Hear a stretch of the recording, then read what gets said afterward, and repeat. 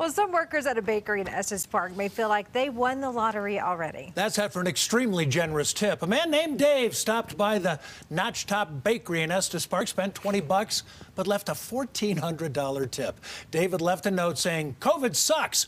$200 for each employee today. And the bakery says that very generous gift touched many, many lives.